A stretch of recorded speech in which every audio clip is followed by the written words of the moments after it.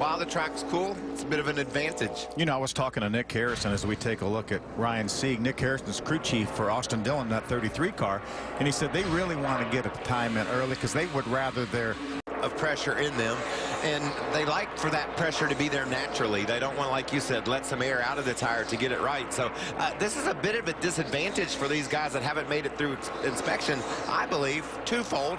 Track's going to just continue to heat up, like I said, and they won't have as much time to prepare for round two. Because there's a certain place where they want these tires when they complete their lap. There's a certain there's a certain air pressure, and and how they get by doing that is they start out at a certain number because they know it's going to build that much. And again, they don't want to let it down or let it down manually. They do cars that can win the race, so it's hard to be inside that top 24.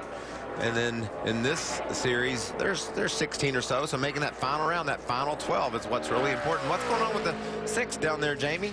Well, I just talked to his crew chief, Chad Norris, and said, all right, what is your plan here for this second round? And he said, because we didn't make it through technical inspection early and we had to, to do our first run in the first round late, they need to let this car cool off.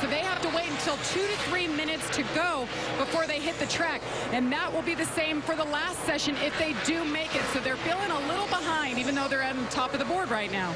Wasn't that ironic? Yeah. We're, we're first and we're behind. I worry about the residual impact. I feel confident they can get it where it needs to be for round two, but as Jamie pointed out, not a quick turnaround, only five minutes in round three. If you're able to advance, it's going to be tough to contend for the pole, you'd think. Yeah, I think we need to explain, too, when, when we talk about... Race of the year for the NASCAR Xfinity Series, 52 laps in, under caution for the first time today.